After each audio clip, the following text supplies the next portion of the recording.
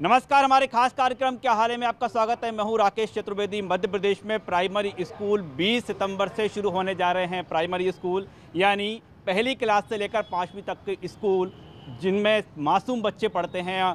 हालाँकि इस बीच सरकार ने शर्त भी रख दी है कि स्कूलों को, बच्चों को स्कूल बनाने से पहले पेरेंट्स की सहमति लेना होगी। पेरेंट्स की सहमति ज़रूरी है। यानी स्कूलों को ये पेरेंट्स से लिखित में लेना होगा कि वो अपने बच्चों को स्कूल भेजना चाहते हैं नहीं भेजना चाहते हैं। और आज हम इसी विषय पर चर्चा कर रहे पेरेंट्स से क्या अपने मासूमों को वो स्कूल भेजने के लिए तैयार हैं? क्योंकि अभी मध्य प्रदेश में बात करें तो कोरोना काल खत्म नहीं हुआ है। अभी मध्य प्रदेश में सार्वजनिक कार्यक्रमों पर रोक है। अभी मध्य प्रदेश में तमाम सभाओं पर रोक है। ऐसे में प्राइमरी स्कूल के बच्चे यानी मासूमों को स्कूल क्या पेरेंट्स भेजने के लिए तैयार है। और क्या ये जो मासूम हैं, ये स्कूल जाना चाहते हैं, उनके मन में क्या है? ऐसे तमाम सवालों का आज हम जवाब लेने के लिए निकले हैं। इस समय हम देख पा रहे हैं कि स्कूलों को लेकर सबसे अधिक जो कोरोना काल में लड़ाई लड़ी है, वो पालक महासंघ ने लगी है लड़ी है और पालक महासंघ के तमाम सदस्य हमारे साथ मौजूद हैं। आपका क्या हाल है? बस बाकी बढ़िया। बढ़िया है? जी। अब तो प्राइमरी स्कूल शुरू हो रहे हैं। जी। क्या लग रहा है कोरोना काल खत्म है? कोरोना काल खत्म नहीं है। मध्य प्रदेश के माननीय मुख्यमंत्री महोदय जी एक तरफ़ तो स्कूल खोलने का आदेश निकलवाते हैं और दूसरी तरफ़ वो खुद ही दिन भर प्रत्येक मंच पर जाकर ये बोलते हैं कि अभी कोरोना काल के कुछ पेशेंट्स बढ़ रहे हैं वायरल हो रहा है, डेंगू हो रहा है। एक तरफ़ सलाह दे रहे हैं कि हम कम से कम सतर्कता बरतें। और दूसरी तरफ़ मैं इतनी बात बताना चाहूँगा राकेश जी, छब्बीस जुलाई को नौवीं से लेकर बारहवीं तक के राज्य सरकार ने स्कूल खोले गए, नौवीं से लेकर बारहवीं तक के। आज मध्य प्रदेश के हालत वो हैं कि अब मैक्सिमम 25 परसेंट तक स्कूलों में बच्चे पहुँच रहे हैं। 25 परसेंट पहुँच ही नहीं रहे, जबकि 50 परसेंट उपस्थिति से राज्य सरकार ने स्कूल खोलने का निर्देश दिया था। इसी तारतम्य एक सितंबर से लेकर छठवीं से लेकर नौवीं आठवीं तक के स्कूल खोले गए। आज उनकी भी स्थिति है कि अभिभावक वही 20 से 25 परसेंट भेजा रहे हैं क्योंकि अभिभावक खुद नहीं पहुंचाना चाहते क्योंकि आज कोरोना काल चल रहा है और जिस तरह से आज जो डेंगू का प्रकोप बढ़ रहा है वायरल का बढ़ रहा है इस तरह से अपने बच्चों को कोई भी नहीं चाहेगा कि जोखिम भरे स्कूल भेजाकर कोई पहली से लेकर पाँचवीं तक इतना बड़े जब तो आप आप आप पेरेंट्स हैं जी। आप अपने बच्चों को स्कूल भेजेंगे? बिल्कुल नहीं भेजेंगे। जब दसवीं और बारहवीं की राज्य सरकार और केंद्र सरकार प्रमोशन देकर पास कर सकती है तो नर्सरी से लेकर पांचवीं तक का कौन से बच्चे की मार्कशीट से उसको आईएएस और आईपीएस बना जा रहा है? तो राज्य सरकार की जो दोहरी नीतियाँ चल रही हैं, सिर्फ़ और सिर्फ़ मध्य प्रदेश के निजी स्कूलों ने एक तरफ़ राज्य सरकार पर दबाव बना रखा है और राज्य सरकार दो तरफ़ से चल रही है। एक तरफ़ अभिभावकों को वोटर को साधने में लगी है, आदेश निकाल देती है, और दूसरी तरफ़ निजी स्कूलों को जिस तरह से उनको साधने में लगी है, क्योंकि बहुत सारी ऐसी चीज़ें होती राज्य सरकार को मध्य प्रदेश के अभिभावकों के बारे में सोचना चाहिए। और शिक्षा के बिना मध्य प्रदेश का विकास नहीं हो सकता। तो शिक्षा पर शिक्षा विभाग और माननीय मंत्री जी को बड़े विशेष रूप से निर्णय लेना चाहिए। अभिभावक सरकार यही तो कह रही है कि हम शिक्षा दे रहे हैं। सरकार कहाँ शिक्षा दे रही है? आज स्कूलों की हालत खराब है। आज बच्चे कोरोना पेशेंट आज आदेश निकाल दिया कि अभिभावक अपनी मर्ज़ी से बच्चे को पहुँचाए।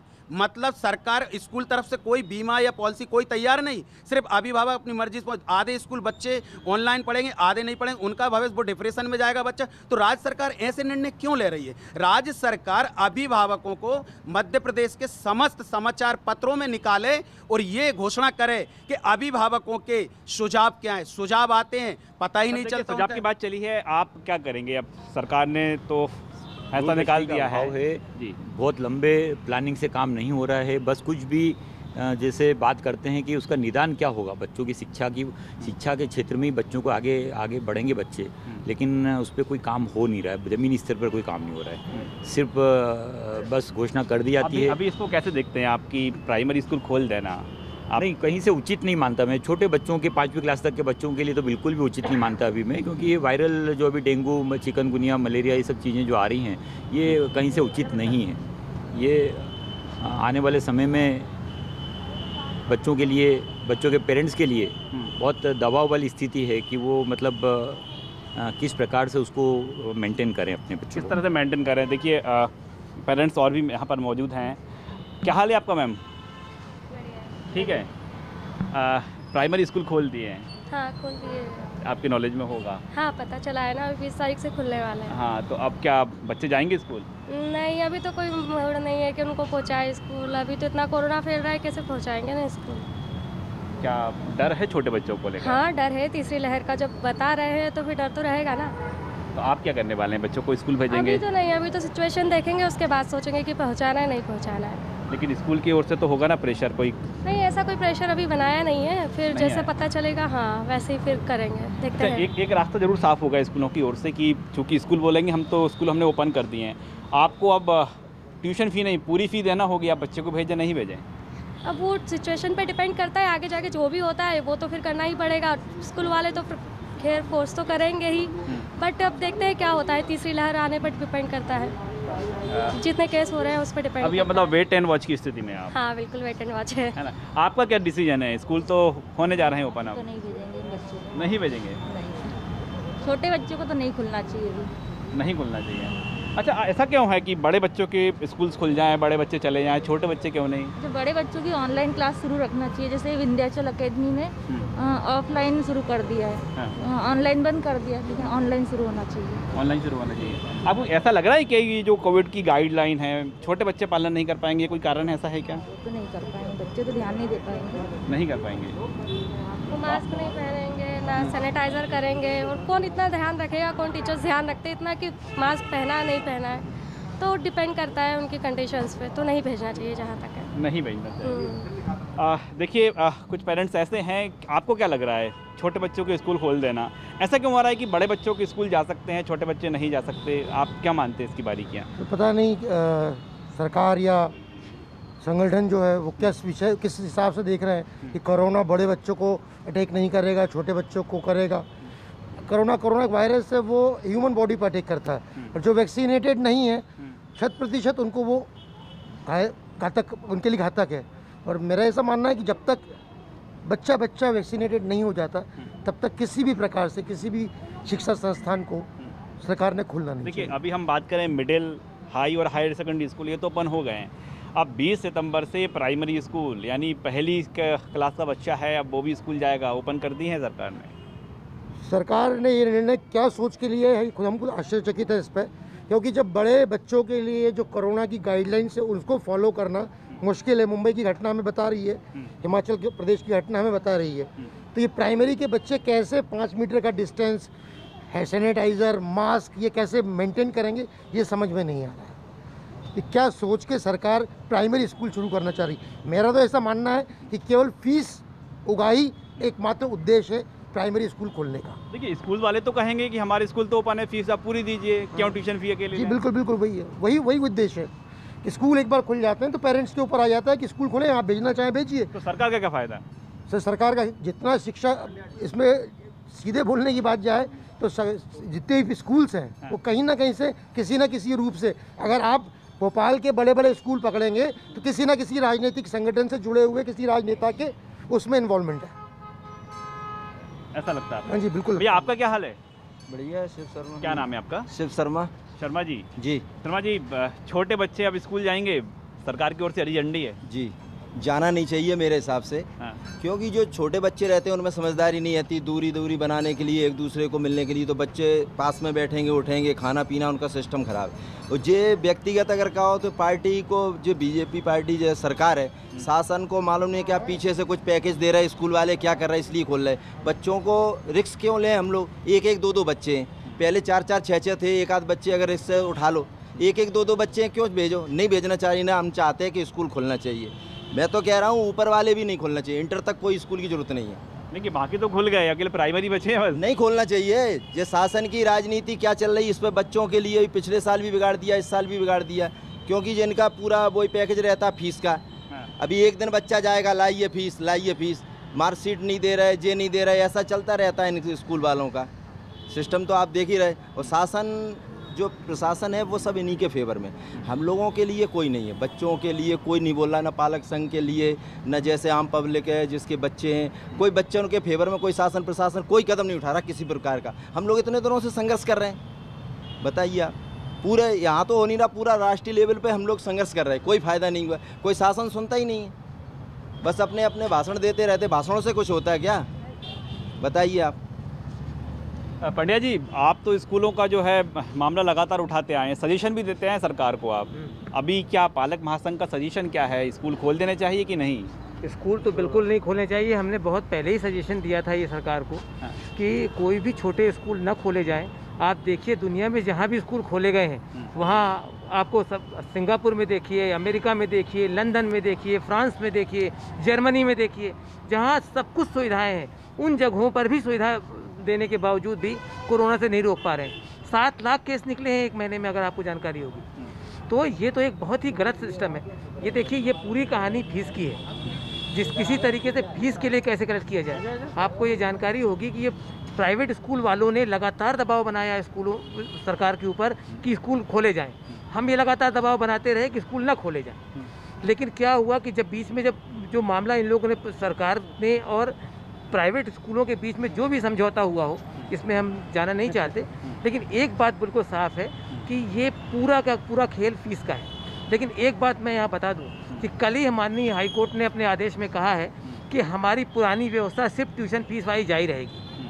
उसमें आप ट्यूशन फ़ीस के अलावा कोई भी फ़ीस नहीं ले सकते लेकिन स्कूलों ने तो फ़ोन लगाना शुरू कर दिए हैं। फ़ोन लगाना शुरू कर दिए हैं मैसेज भेजना शुरू कर दिए हैं। उनको किसी की बात सुनना नहीं है। क्योंकि सरकार का ही दोनों दाँव पे चलता रहता है और मेरे को तो ये लगता है कि ये स्कूल और सरकार दोनों का एक संगठित लूट का प्रयास है। दोनों मिलकर संगठित रूप से लूटना चाहते हैं सर जनता को। तो आप लोगों ने क्या डिसाइड किया? आप बच्चों को भेजेंगे स्कूल? मुझे लगता है कि सर अभी बच्चों को भेजना उचित नहीं है। नहीं है। देखिए ये बीमारी तो महामारी है ही चली रही है अभी खत्म नहीं हुई है। एक, एक तर्क आज ये ही- दिया जा रहा है ना कि देखिए आप हम हैं हम लोग आपस में मिल रहे हैं एक दूसरे पर जा रहे हैं तो बच्चों को क्यों नहीं भेज सकते? सर एक चीज़ बताइए आप मुझे बच्चे अभी अभी कितने बच्चे जा रहे हैं? मैं अपने बच्चों को कहीं लेके नहीं जाता। हम्म। अगर जाते भी हैं तो बच्चे कितनी देर के लिए जाएँगे? एक घंटे के लिए हम्म। दो घंटे के लिए। यहाँ बच्चों को छः घंटे लगातार रहना है। एक ही सीट पे बैठे रहना बच्चे एक्टिविटी नहीं कर सकते गेम्स हो नहीं रहे हैं। हम्म। कुछ होंगे नहीं। एक ही जगह बच्चा बाथरूम के लिए उठेगा टॉयलेट वगैरह जाएगा बस। एक ही सीट पे पाँच घंटे कोई बैठ सकता है कि आप बताइए पॉसिबल है? आप बैठ सकते हैं। तो ये ये ये चीज़ें भी देखनी पड़ेंगी। दूसरी चीज़ डेंगू फैल रहा है चिकनगुनिया फैल रहा है। अभी अगर दो महीने तीन महीने अगर अपन वॉच कर लेंगे कोरोना नहीं है। उस उतने समय नहीं खेले नहीं खोलें तो कोई दिक्कत नहीं है। ऑनलाइन क्लासेस चली रही हैं। फ़ीस पेरेंट्स दे ही रहे हैं। ना स्कूल वाले ना सरकार ना हाईकोर्ट का आदेश मान रहे हैं। ना माननीय सुप्रीम कोर्ट का। हाई कोर्ट ने बोला हुआ है ट्यूशन फ़ीस लो। सारे लोगों ने अपनी सारी फीसें ऐड कर करके ली हैं। फ़ीस के मुद्दे को अगर अपन एक तरफ़ हटा भी दें तो स्वास्थ्य को तो देखो सर बच्चे कौन ज़िम्मेदारी लेगा आप ये बताइए मुझे। अगर एक भी स्कूल में एक बच्चे को हो गया मेरे ख्याल से तो कोर्ट को ये भी बोलना चाहिए कि पेरेंट्स की सहमति के अलावा अगर बच्चे को स्कूल में कुछ हो सकता है तो केस फ़ाइल कर सके। ये होना चाहिए ये ये ये ये स्कूल से तो फॉर्म आना शुरू कर दिए कि आप सहमति क्या होता साहब मैंने अपनी सहमति दे दी। कंसेंट क्या होता है? तो मतलब मेरे बच्चे को अगर कुछ हो गया तो तो मतलब मेरी ज़िम्मेदारी है वो तो। जैसे डॉक्टर फॉर्म भरवा लेते हैं भाई ऑपरेशन में आप मर गए आप गए। मतलब बच्चा मेरा गया फिर। ये चीज़ गलत है। अगर सरकार मान रही कि कोरोना नहीं है सरकार अगर मान रही कोरोना नहीं जिसके कारण सभी शिक्षण संस्थान खोले जा रहे हैं तो फिर सहमति पत्र लेने की आवश्यकता क्यों? प्रश्न नंबर एक। दूसरा जैसा कि बोल रहे हैं ट्यूशन फ़ीस ले रहे हैं। सर आप पिछले तीन साल पुरानी फ़ीस रसीद देखिए उस पर क्लियर कट कॉशन मनी ये मनी वो मनी लेता था और सब में बाइफिकेशन होता था। आज की डेट में वो सब ज़ीरो है। आपकी टोटल फ़ीस अगर छत्तीस हज़ार थी पहले तीन साल पहले तो अब ट्यूशन फ़ीस छत्तीस हज़ार कर दी गई बाकी सबको ज़ीरो ज़ीरो कर दिया गया। कुल मिला के अभिभावकों को मूर्ख बनाने का काम हूँ शासन और स्कूल प्रशासन द्वारा किया जा रहा है। एक या दो हज़ार रुपये के लिए जिसमें स्पोर्ट्स फ़ीस है ना activity fees computer fees smart board fees दो हज़ार रुपये मान लीजिए मैक्सिमम अच्छे अच्छे स्कूलों में भी। उसके लिए अप, अप, आप हमारे बच्चों को दांव पे लगा रहे हो यार ये तो गलत है। ये तो कहीं से उचित नहीं है। आप फ़ीस लो ना हमसे ट्यूशन फ़ीस लो आप। ऑनलाइन क्लास दो आप। कोई दिक्कत नहीं है। दे तो रहे पैसे पैसे तो दिए ही ना। ऑनलाइन के अलावा अपन ने एनुअल फ़ीस भी दी है कईयों ने स्पोर्ट्स फ़ीस भी दी है प्रैक्टिकल फ़ीस दी है। लैब में बच्चा गया नहीं प्रैक्टिकल ले लो। कहाँ से ले रहे हो प्रैक्टिकल साहब आप? ये बताओ आप मुझे। इसलिए ट्वेल्थ तक स्कूल नहीं खुलने चाहिए मैं तो इस बात को मान रहा हूँ। और आजकल स्कूलों में क्या पढ़ाई हो रही है आप ही बताइए। उसके बाद भी बच्चा नाइन्थ के बाद भी बच्चा ट्यूशन लेता है। ये में बात जाता है। लेकिन अब तो वो बस 20 सितंबर हाँ ओपन करने जा रहे हैं। ओपन हो रहा है। देखो ये सोची समझी एक्चुअली ये अभिभावक देखो हम अभिभावक हैं सोची समझी राजनीति हो रही है। कैसे? स्कूल की टीचर स्कूल की जो जो ऑनर है जो डायरेक्टर है और ये सरकार के सारे मिली भगत है सर। बच्चे जाते हैं स्कूल में कोई पढ़ाई नहीं होती है। और बच्चे जाके देखिए मैं मदर टेरेसा की बात करता हूँ मैंने कल खुद गया था वहाँ है ही नहीं टोटल पाँच बच्चे हैं। सौ से डेढ़ सौ बच्चे होते हैं एक क्लास टोटल उनके जो सेक्शन होता है। चालीस बच्चे एक सेक्शन में होते हैं पाँच सेक्शन होता है दो सौ बच्चे होते हैं दो सौ बच्चे में पाँच बच्चे जा रहे हैं। अभिभावक भेजने के लिए राज़ी नहीं हो रहे एग्री नहीं हो रहे उनको फ़ोन किया जा रहा है भाई क्यों? उनको पैसे चाहिए। उनको पैसा मेन एक्चुअली उनका उद्देश्य केवल उनका पैसा। क्योंकि और पैसा जैसे उन्होंने भाई साहब अभी थोड़ी देर से पहले कहा ना जो ट्यूशन फ़ी हुआ करता था जो अलग अलग सेपरेशन होता था अब उन्होंने सारे चीज़ कुछ एक ही ट्यूशन भी कर दिए। कि हमारे एक ही बात भाई सारे पैसा हमें यहाँ पर कुछ बच्चे भी हैं। क्या नाम है बेटा आपका? तनिष्क रावत तनिष कौन सी क्लास में आप? मैं एट्थ में। एट्थ में हूँ मतलब मिडिल आपके स्कूल तो खुल चुके हैं? हाँ खुल चुके स्कूल जा रहे हो? नहीं अभी नहीं जा रहे मतलब जैसे अब हमारे पेरेंट्स जैसे स्कूल में जाके कुछ मतलब परमिशन देंगे ना उन्हें हाँ। तभी जा पाएँगे हम। तो. क्या अभी वायरल पेरेंट्स रेडी नहीं है? नहीं। वो वायरल भी चल रहा है अभी इसलिए तो फिर क्या डर लगता है स्कूल? नहीं।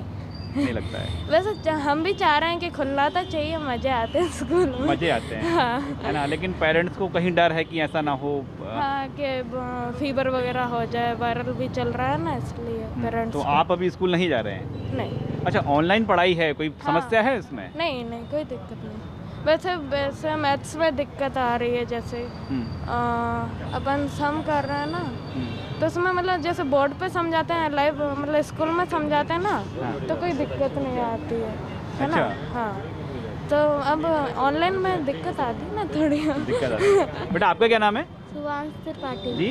सुभाष त्रिपाठी। ओके कौन सी क्लास में हैं आप? थर्ड थर्ड में? हाँ। अब तो आपके स्कूल ओपन हो रहे हैं। हाँ। जाओगे? अभी तो नहीं जाएँगे। क्यों? कल से चले जाएँगे। क्यों नहीं जाएँगे? अभी अभी मेरी नहीं खुली है। अच्छा अभी नहीं जाएँगे? मेरी नहीं खुली है। अभी खुले नहीं है? हाँ। आपकी जानकारी अच्छा यदि स्कूल खुल जाए तो आप जाएँगे? हाँ। जाएँगे? हाँ। कोई डर तो नहीं है कोविड वगैरह? पेरेंट्स रेडी हैं आपके? हाँ। नहीं पता। नहीं। आपका मन कर रहा है जाने का? क्यों कर रहा है मन जाने का? अच्छा लगता है जाके। लेकिन सर बच्चे बड़े भोले होते हैं। जी। है ना? आपका क्या कहना है कि आप जो बार बार तर्क दे रहे हैं कि छोटे बच्चों को नहीं बुलाना चाहिए, क्यों नहीं बुलाना चाहिए? देखिए, छोटे बच्चों को 18 साल के ऊपर आज मध्य प्रदेश हो या हिंदुस्तान वैक्सीन की व्यवस्था हो रही है और वैक्सीन लगती भी जा रहे हैं। लेकिन आज हमारे जो छोटे बच्चे होते हैं, तीन साल से लेकर और आज जो सात आठ साल के बच्चे जब होते हैं, इन बच्चों के लिए कोई वैक्सीन की व्यवस्था नहीं है। तो इसलिए अभी कहीं ना कहीं जाकर ये माननीय मैं नगरीय प्रशासन मंत्री महोदय, जो आदरणीय भूपेंद्र भाई साहब ने भी ये चीज़ कहा था कि जब हम डेढ़ दो साल से रुके हुए हैं तो कहीं ना कहीं हम लोग अभी थोड़ा सा महीने, दो महीने छोटे बच्चों के लिए वॉच करें। इसके बाद स्कूल के लिए हम लोग जारी रखें। लेकिन आज परिस्थिति है, छोटे बच्चों के लिए अभी राज्य सरकार को बिल्कुल ये निर्णय लेना चाहिए पहली से लेकर पाँचवीं तक। देखिए, सभी का आपने मत देखा है, सभी का मत सिर्फ़ और सिर्फ़ ये है, सिर्फ़ ट्यूशन फ़ीस के नाम पर जो भड़कम तरीके से फ़ीस लूटी जा रही है, और मध्य प्रदेश का शिक्षा विभाग इतना मौन है कुंभकर्ण की तरह, सुप्रीम कोर्ट की गाइडलाइन हो चाहे उच्च न्यायालय की गाइडलाइन हो चाहे राज्य सरकार की गाइडलाइन हो लेकिन कहीं से कहीं तक अभी तक आज तक किसी भी स्कूल के ऊपर जो कि उसमें प्रावधान है अगर कोई भी स्कूल किसी तरह का अगर उल्लंघन करता है नियमों का तो उसके ऊपर दो लाख रुपए यही डर है कि बस कि बच्चों को वैक्सीन नहीं लगी ये सब इसलिए भेजना नहीं चाह रहे आप? नहीं देखिए सभी के बच्चे एक या दो बच्चे होते हैं कोरोना महामारी चल रही है और किसी भी बच्चे की तबीयत खराब होती है और कुछ होता है तो बोल के नहीं आएगा कि हम कुछ हो जाएगा। तो मेरा तो सिर्फ़ व्यक्तिगत भी मानना है, मैं अपने बच्चों को नहीं भेजूँगा, क्योंकि अगर उसका एक साल खराब होगा, ऐसा भी नहीं है कि अगर वो बारहवीं में है और अगली साल ही उसको आए तो कहीं ना कहीं जाकर अगर एक डेढ़ साल इंतज़ार करना पड़ेगा ये मेरा व्यक्तिगत मत है। आप आज बच्चों के लिए अभिभावक गण करते हैं, और अगर बच्चा ही नहीं रहेगा तो फिर क्या बचा? तो कहीं ना कहीं सबसे पहले राज्य सरकार पे दबाव जो बना हुआ है निजी स्कूलों, सिर्फ़ फ़ीस की उगाई चल रही है। इसके अलावा कोई भी पढ़ाई नहीं हो रही है। देखिए, हम तमाम पेरेंट्स से बात कर रहे हैं। कुछ और पेरेंट्स भी यहाँ पर मौजूद हैं। फिर तो ये बात चली जाएगी ना कि कब तक फिर नहीं खुले तो कब तक नहीं खुले स्कूल? नहीं हम बिल्कुल ऐसे ये बात नहीं है कि स्कूल ना खुलिया जाए। स्कूल बिल्कुल खोलिए पर ये कंसेंट पेपर की जो बात हो रहा है कि आप सहमति दे दीजिए कि हमारा बच्चे को हम लेके कहीं फेंक दें। नदी में फेंक दें नाले में फेंक दें ऑपरेशन कर लें कुछ भी कर लें। हम कह रहे हैं देट इज़ प्रॉब्लम प्रॉब्लम नहीं कि स्कूल खोलना। कैसे नहीं स्कूल खोलेंगे? स्कूल खोलने स्कूल के इन्वायरमेंट में हमें बच्चे जाना चाहते हैं। हम ऐसे नहीं है कि ऑनलाइन पढ़ाने से ऑनलाइन क्या होता पढ़ाई? कुछ इतना ज़्यादा नहीं पता जो जैसे अभी थोड़ी देर से पहले एक बच्चा ने कहा कि हम भी स्कूल जाना चाहते हैं हम वो ब्लैक बोर्ड में जो मैडम पढ़ाती थी या पढ़ाते हैं जो टीचर्स पढ़ाते हैं हम वो देखना चाहते हैं। पर आप उसको सुरक्षा देना चाहिए बच्चों को सुरक्षा पूरा कीजिए। और अभी जैसे एक साल डेढ़ साल आपने पढ़ाई नहीं फ़ीस की बात आती है। आपने फ़ीस क्यों भाई इतना ले रहे हैं? और उसमें एक आत्मा भी तो होता है एक सरकार भी बनता है बन, जो सरकार बनता है हमारा हम कितना अपना चाहत का हिसाब से हम सरकार बनाते हैं। सरकार से हमने कुछ चाहते हैं कि हमारा बच्चा हमारा पेरेंट्स आज इतनी बड़ा महामारी में लोगों का पैसा नहीं है। और आप इसके बाद भी बोझ के ऊपर बोझ आप देते चले जा रहे हैं। अरे सरकार ना करे सरकार को कहे जब उसके स्कूल ने सफ़ाई नहीं हुआ स्कूल का कोई काम नहीं हुआ स्कूल का कोई डेवलप नहीं हुआ तो स्कूल का इतना पैसा तो नहीं लगा। टीचर्स को उन्होंने आधा पेमेंट पर रखा गया। तो हमारा सिर्फ़ अभिभावक का यही कहना है कि आप अभी आप कुछ बच्चों का जो फ़ीस माफ़ करवा दीजिए और स्कूल खोलिए। स्कूल पूरा सुरक्षात्मक उपाय करके स्कूल खोलिए। स्कूल का हमें विरोध नहीं स्कूल नहीं खोलना। कब तक नहीं खोलेंगे? आज नहीं खोलेंगे कल खोलना पड़ेगा नहीं तो परसों खोलना पड़ेगा कभी ना खोले खोलना ही। पड़ेगा हम स्कूल का स्कूल नहीं खोलने का इसका कोई विरोध नहीं कर रहे हैं। फ़ीस का विरोध कर रहे हैं। जब हमारा दो साल तक हमने बच्चे को आपने पढ़ाया नहीं। ऑनलाइन भी छोटे स्कूल छोटे बच्चों को तो पढ़ाई ही नहीं हुआ ऑनलाइन में। कई स्कूल का मैंने बता दूँगा एक एक स्कूल का हमारे पास रखा हुआ है। पर उस स्कूल में बिल्कुल बच्चे गए भी नहीं ऑनलाइन भी पढ़ाई नहीं हुआ। उनकी तो कम से कम फ़ीस माफ़ मतलब अभी अभी आपके बच्चों के लिए स्कूल से कोई कॉल आया? आए ना मैसेज आए। उन्होंने ऑफलाइन क्लास बंद कर रहे हैं। टेस्ट अब जो लेंगे अब जो टेस्ट होने वाला है वो ऑफलाइन होगा। तो बच्चों को जाना तो पड़ेगा स्कूल। फ़ीस वाली कोई बात पे अगर देखा जाए तो जैसे माननीय उच्च न्यायालय का भी आदेश था कि फ़ीस पिछले साल से ही ट्यूशन फ़ीस ली जाए। स्कूल वालों ने और न गवर्नमेंट ने पालकों के हित में कोई आदेश नहीं किया। ना कोई जाँच हुई अधिकारी अफसर ना स्कूलों में विज़िट करने जाते हैं ना कुछ करते हैं। पेरेंट्सों ने कई मेरे पास ऐसे एग्ज़ाम्पल थे कि जो पेरेंट्स डीओ साहब के यहाँ इधर उधर मंत्री जी के यहाँ गए। अभी आपने देखा भी एक मंत्री जी के हंगामी भी हुआ था। हाँ बिल्कुल आपका? नाम है? तो मैं संजीव संजय जी। संजय जी आप क्या डिसीज़न लेने जा रहे हैं? स्कूल खोलने के विषय में मेरा डिसीज़न यह है कि स्कूल जिस तरीके से पालकों से कह रहा है कि आप अपने बच्चे को अपनी ज़िम्मेदारी पे भेजें। आपके पास कॉल आया?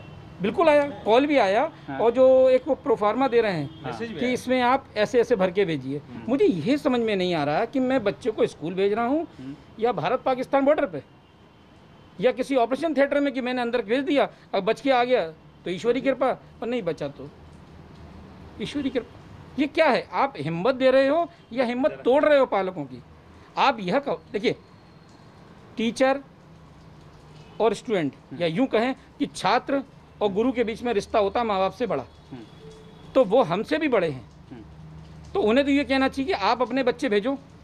ये बच्चे हमारे हैं, ये हमारी ज़िम्मेदारी है। इनको अंदर छः घंटे कैसे इन सारी चीज़ों का पालन कराना है? अब आप ये सोचो कि हम अगर भेज दें एक एक पहली क्लास के बच्चे को और हम ये कहें कि वो कोरोना गाइडलाइन का पालन करेगा तो ये संभव है? आप और मैं नहीं कर पाते कई बार। नहीं है। इसलिए ये भाषा में अगर स्कूल में बच्चों को बुला रहे हैं कि आप अपनी ज़िम्मेदारी पे भेजो। शासन ने भी कह तो दिया आपको आपको सिस्टम पर ही आपत्ति है। मुझे बिल्कुल इस बात पे आपत्ति है कि आप बच्चे को अपनी ज़िम्मेदारी पे बुलाइए। कि ये हमारा बच्चा है ये हमारा विद्यार्थी है ये हमारी ज़िम्मेदारी बनती है कि इसको हम कैसे सुरक्षित रखें। इसको पढ़ाने की ज़िम्मेदारी हमारी है हम छोड़ेंगे लेके आएँगे उस जगह तो हम बचा सकते हैं। लेकिन अंदर का क्या? क्या अभिभावक वहाँ पर है? नहीं है।